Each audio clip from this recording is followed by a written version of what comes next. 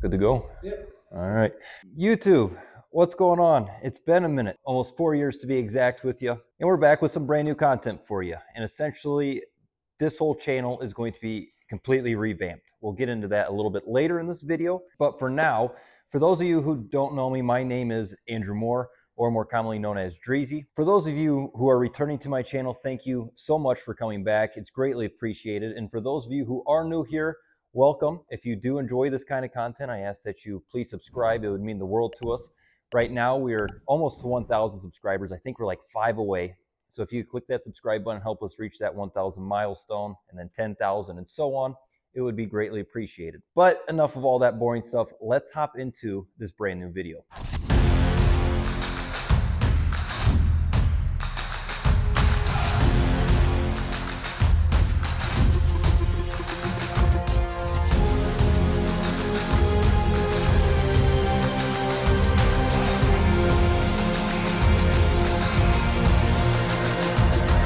So for those of you who do know me, you've probably noticed that I've gone pretty distant on all social medias. With that, I have been doing a lot of work, both on myself and with a brand new business that we've created. So to kind of sum everything up, just give you a little bit of insight here. I graduated from the University of Northern Iowa a year ago.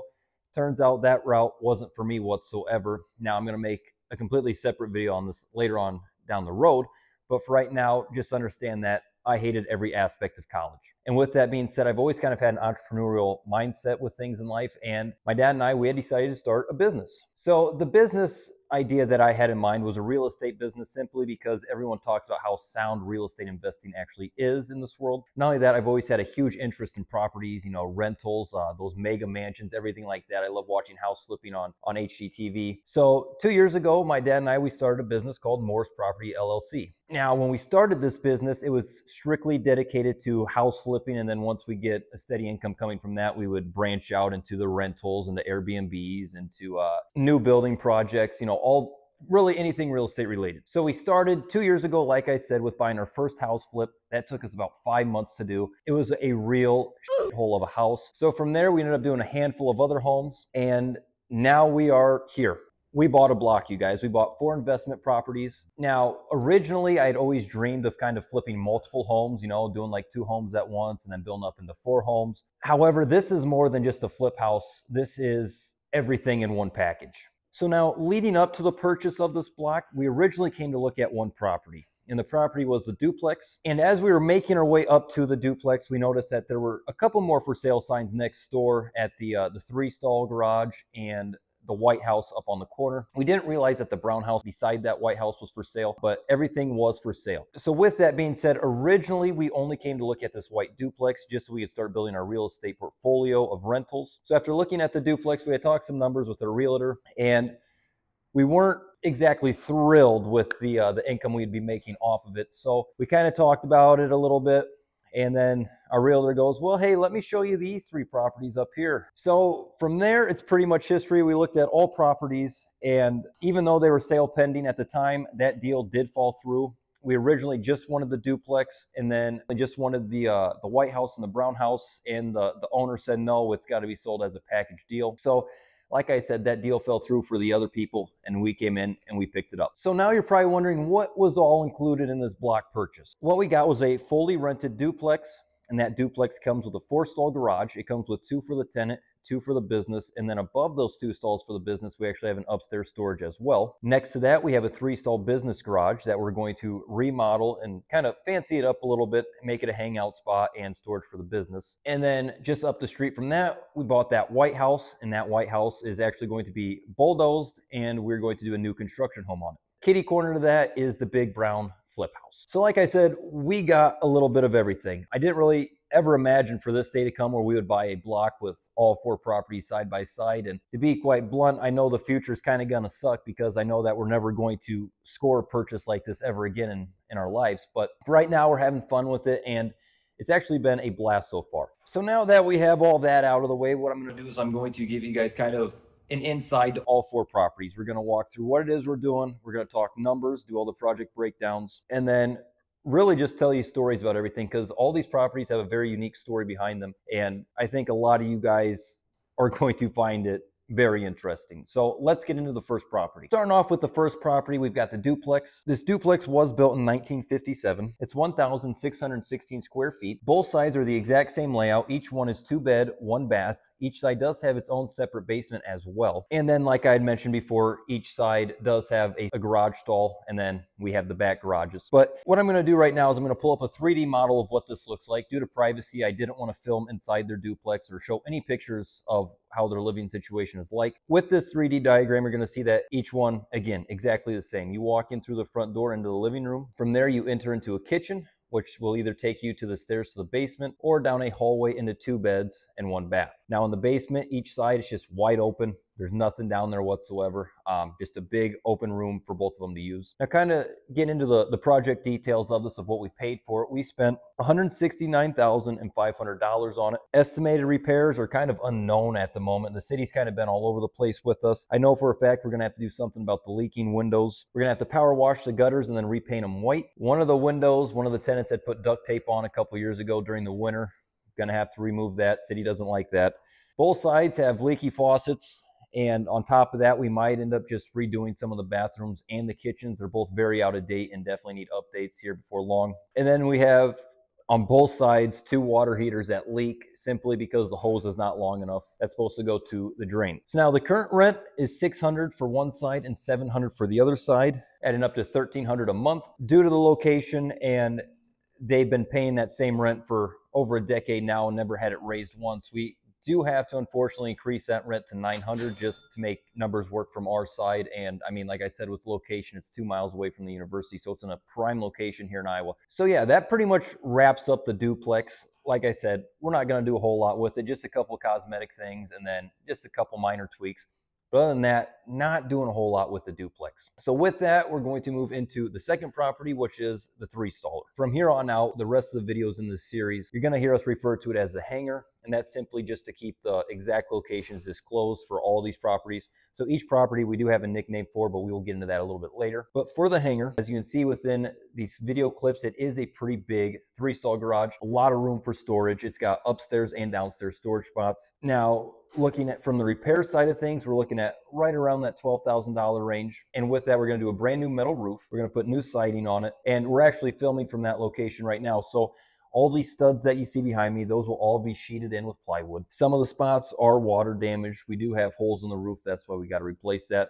So everything's got to come out that's rotted redone. The garage doors, we've got four garage doors on here now. We're going to tear the one out that's in the back corner there. We're going to fill that in. And then these three over here, these are all going to be brand new black garage doors, all automatic. Right now, they're currently manual. And then above us, we have a bunch of old lumber that was left behind from the previous owner that we're also going to dispose of. But structurally, this place is pretty sound. All the walls are phenomenal. Um, the concrete floor is good. It's actually got a drain in it. So yeah, so we're looking at roughly $12,000 in repairs. Now the listing price, we aren't going to list this unless with that big brown flip house, we might sell it with that if the uh, the buyer does want this simply because that flip house is only one staller but again we'll get into that when we actually do the project breakdown so we might end up selling this with that house as well for the profit again since we're not selling it there's going to be no profit to be made until the long run. Probably five to seven years, we'll get rid of the duplex and this. To kind of talk about what I mean by that is right now we have it tied into the duplex that's right beside us. The city wouldn't allow us to have it be its own separate property. It's a separate parcel, but since it's not residential living, we can't just have it separate pretty much. So it was either tie it to the duplex, tie it to the new construction home, or the brown house. And since we're keeping the duplex, we went that route. But to kind of give you some details on the inside of this garage, it is 1,152 square feet. Like I said, we've got three garages in the front. The middle one is significantly taller um, than the other two. And with that, we actually have a U of upstairs storage here on both sides. The garage is broken up into two sections. You've got a section over there, and then you've got two stalls over here. Over here, I would assume is mainly going to be for tools, trailers, cars, that kind of stuff. And on that side, we might take a corner, have it be like a bar or something like that. But in the future, this is going to be a, a pretty cool place. But with all that being said, that pretty much wraps up everything here in the three stall garage. Now let's go next door to our new construction home. We're calling this the Cat's Cradle throughout this series. We'll go into more details on that here in just a couple seconds. But this house here, we are going to bulldoze and build a brand new spec home on. Now, to kind of walk you through the numbers on this project here, we did buy this house for $50,000. Now, the estimated repairs that are going to come along with this, we're going to have to demolish the house, which is $21,300, and that is including the trees, and then a brown garage that's a two-staller, and then a another like storage unit almost type thing on the other side of the house. And with that, we're going to get rid of the white fence that's next to the three stall garage, and then the two garages connected to that white house as well. And then on top of that, we do have to build an entire new house. So that we're looking at roughly $227,500. Now with that, we were given kind of a, a, rough range of what price we could sell this house for. Again, this house is two miles away from the university, so it's in a great location. So we're looking at 379,000 to 399,000, which gives us an estimated profit of 81,000 to 101,000. Now, the current house that you're looking at now, the White House, that is 1,200 square feet and was built in exactly 1900. So it is a very old house. When we purchased it, floors were falling through. It was very unsafe to live in. And I'm going to go into the backstory here in just a second. But there were some city folk who weren't too happy we were tearing this down. And hopefully those people are watching this video and seeing how disgusting it actually is on the inside of this house because there was no way anyone could live in this house. But originally it was three bed and two bath that was eventually converted into a barn and that's where the cat's cradle comes into play is they used to store exotic cats at this house um, you're going to see the, the cat cage room here. They had cages everywhere. The living room was lined with cages. Um, outside along the fence was lined with cages. On the floors, you can see that it's, it's very nasty. That's all cat litter, cat fur. They actually bred raccoons in this house. And stories that we've heard about this place from the newer owner and then the tenants is at night they'd actually leave the doors open and animals would crawl out of the sewer like raccoons and actually go and live in this house at night. He'd leave the lights on for them. He'd feed them. He'd take care of them. On top of that, he had like reptile cages. He had um, pigeon cages in the backyard. All around, there were hundreds of animals inside of this house. So that's why we're calling it the Cat's Cradle House. And to give you a little bit more detail on that, the owner of that White House actually owned this entire block that we bought and then actually a bunch of houses further down on the street as well. This guy owned properties everywhere. We're going to go into more depth about his situation here with the flip house because it's a better example to give you. But just know this guy was a massive hoarder and he liked things in large quantities. So that's why he had so many animals within that house. So now moving into the new construction home, we are building a single family home. It is a spec house and it's going to be just over 1,300 square feet. It's going to have a finished upstairs, but an unfinished basement. And the reason that is, is just due to budgeting and, and just all business numbers related. That's what makes the most sense for us. Now, we are going to list it before it's finished. So if a potential buyer wants the basement finished, they can tell us how they want that done.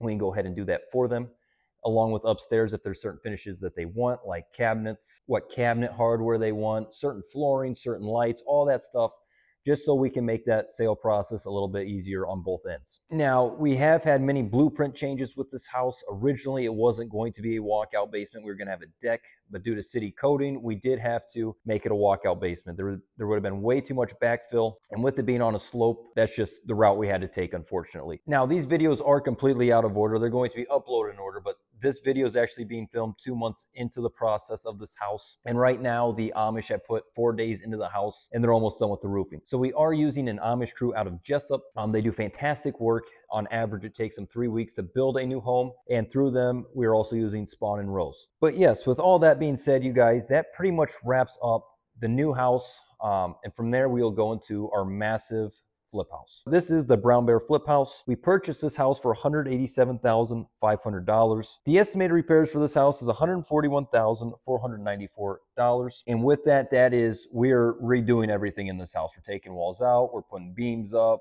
all new paint, all new flooring, brand new kitchen, brand new bathrooms. Everything's going to be brand new in this house. Nothing's going to stay the same. So with that, we're looking at a listing price of roughly $439,900, which gives us an estimated profit of $110,906. Now, this house, it's got a very, very unique story to it. We'll start from the beginning. Like I mentioned earlier, this guy was a hoarder. So originally it was a ranch house that he had completely filled. And back in 2000, he ended up doing a, a massive, massive add-on to this house. He added on the entire upstairs. He added on to back of the, the main level, which is the sunroom and the living room. And then he added on two more rooms in the basement, one which is kind of set up to be an apartment, and then another which is just a utility closet. So when that was all said and done, we're looking at a 4,057 square foot home. So again, this house is absolutely massive. Every room you go into is oversized. Nothing is small in this house. So when we originally bought this house, it was a four bed, three bath, and then it had one rough and plumbed bathroom in the basement. Now, that's all going to stay the same for the most part, other than we are adding a master bath to it. So it's going to be a four bed and four bath. So, like I had said, everything in this house is going to be completely redone. Nothing's staying the same. Right now, we are two months into this project and it looks night and day different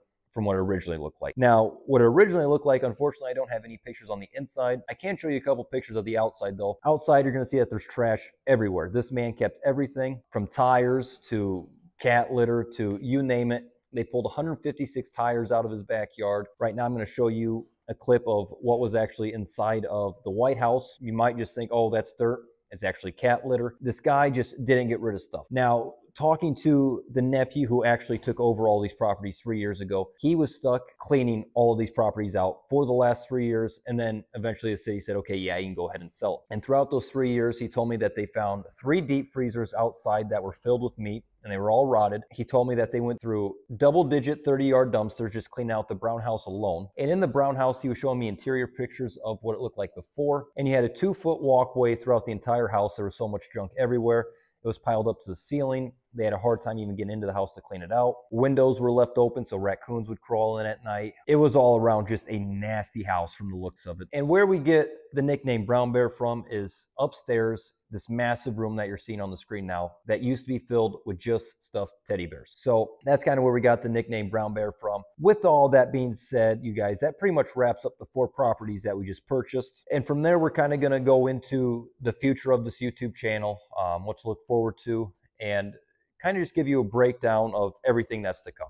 So for those of you who are new here, this really doesn't make a difference. You haven't seen any other videos of me, but just know all the previous content is pretty much over and done with. All of the uh, designer, the streetwear, the Supreme, the Gucci, all those videos are over with. Just know that that is still a huge part of my life. I still collect designer goods, streetwear goods, all that stuff. I just love streetwear art when it comes to clothing. So that's forever going to be a part of my life. So you are still going to see that throughout these videos. But like the old vacation videos, probably won't do those unless it's like all of us guys going out to like Vegas or somewhere cool. We might film those trips. The abandoned exploration videos, as much as I'm going to miss it, I've kind of reached the age where I'm getting too old to do that stuff. My body's falling apart from working all the time and I can't do the fast getaways like I would have to. So those those videos are unfortunately over and done with. And with that being said, the reason we're filming this video now is because is over the last two years I've gone back and forth really really thinking about filming videos like this and I feel like now is the perfect time. We just bought a block and now is the perfect time to kind of show you guys what it is that I do now, kind of how we run things and really just give you an insight to what a young real estate business can do. So I really just want to capture this project on film and then on top of that kind of documenting my life um, almost as like a best word I can come up with is diary style, just kind of showing my life over the years, hopefully progressing, becoming bigger, better, expanding the business, you know, all those good things. With that, I'm going to show and tell everything, right? If we lose money, I'll say it. If we make money, I'll say it. Um, it's going to be an open book. Really, any any challenges that we face, I'll talk about. Really, anything that happens, I'm, I'm an open book and I'm willing to share really anything. So now talking about the business, Mohr's Property LLC, we'll start from the beginning. And with that, I was a five year college student. College was not easy for me. As a matter of fact, I hated every aspect of it. Really, everything I, I, disagree with when it comes to college, but I'll save that video for a different day down the road. And the one thing that I really wanted in life was being my own boss. I don't like people telling me what to do. I struggle heavily with that. So I wanted to be my own boss. And with that, I, I don't like an average lifestyle. I like the, uh, the more luxurious life, I guess you'd say. It's always been very attractive to me. And I figured this was my best shot at trying to achieve that life. I also came to realize in college that there are two hards in life it's hard to be broke and it's hard to get rich. And for me, starting out at the bottom, I knew that the only way to go was up. And so I read a lot of books. I watch a lot of entrepreneurs on YouTube, and I definitely understood how hard it was going to be. I knew how time consuming it would be. There's been a lot of late nights, a lot of hard work that's gone into this. But we ended up taking that leap of faith two years ago, and now we're here. So I guess you'd say we're doing pretty well with a lot more great things to come. So along the way, I've had a lot of help from a lot of great individuals. And the first one being my dad. My dad he kind of took that leap of faith with me just because financially I wasn't set to go out on this journey alone. Not only that, I, I didn't have the proper education to just go buy a house, fix it up, and sell it. He He's been around houses a lot due to his childhood job, siding, roofing houses. He was there to step in, help me out. So it means the world to me. Thank you, Dad. It's greatly appreciated. From there, my mom, my mom is kind of like the property manager in a way. She does all the shit us guys don't like doing sweeping, vacuuming, you know, cleaning cobwebs off the roof, painting stuff, buying everything on Amazon from lights to shower heads to you name it. So she's been a tremendous help in just making this whole process an ease so we can just build the stuff and she purchases it. And then we've got my brother Rylan. He is six years younger than me, and he takes care of a lot of the yard work, mowing, weed whacking, blowing leaves, raking leaves, you name it. He takes care of all that stuff. So big thank you to him as well. And then the two individuals who have given me a better education than my five years of college, Emsad and Adita. Emsad, he is a mentor figure to me. He is a, a real estate coach. My philosophy in life has always been, if you want the best, you got to work with the best. And Emsad to me is the best real estate mentor out there. This guy is just an entrepreneur at heart. You could give him a single pencil and he can make a million dollars out of it. This guy knows business like no other man I've ever met. And then his wife, Adita, she owns Vine Valley Real Estate. She has been a tremendous help. She took me in almost two years ago to be an intern there, and I've kind of stuck with it. She has been just phenomenal in this process. She's been super understanding of my schedule, lets me leave work when I need to, really allowing me to to do my own thing while also working for them. And that's that's greatly appreciated. It means a lot to me. But she's always checking in, making sure that I'm good with everything. Like I said, super understanding,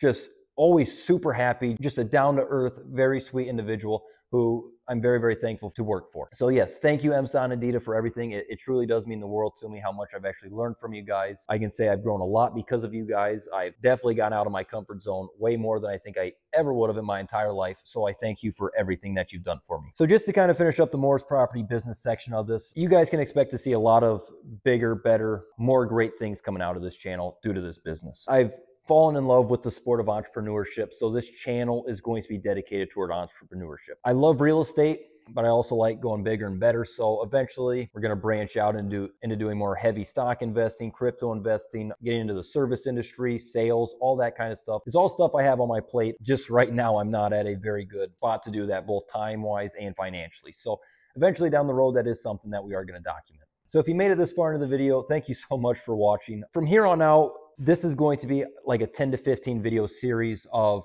the building process of all of our lots here and just keeping you guys updated with everything that's going on. I have a very busy schedule, so unfortunately, I do miss out on a lot of filming.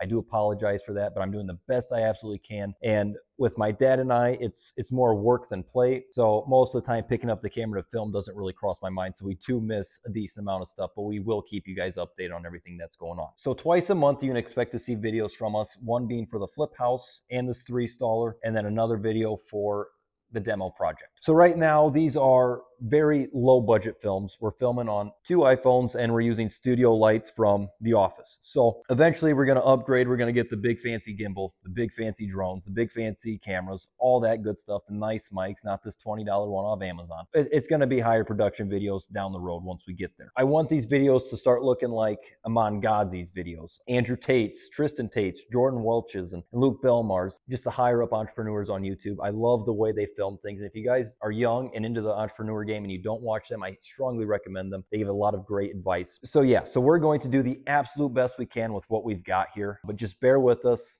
As time goes on, we will make a lot of upgrades. And then finally, the filmer, we've got Dawson. Dawson has been a tremendous help in not only building these houses, but taking time out of his day to film contractors working, come over late at night, film videos like this. He is new to YouTube and content creation. So right now he's a filmer. Eventually we're going to start splitting things up. So he's learning how to edit, learn Photoshop, all those good things. And eventually we're going to be a pretty well-rounded YouTube channel. But big thank you to him. And yeah, that was a lot, you guys. But again, it's been almost four years since I've uploaded onto this channel. So again, thank you so much for watching. It does mean the world to me. And if this content does interest you, be sure to subscribe, drop a thumbs up, comment down below what types of videos you want to see from us. We're pretty much open to any type of video, entrepreneur based or, you know, real estate, whatever it may be. Just let us know what you want to see and be sure to look out for the, the future videos to come. And yeah, that's pretty much everything I wanted to share here in this video. So with all that being said and having that all been said, it's been your boy Dreezy.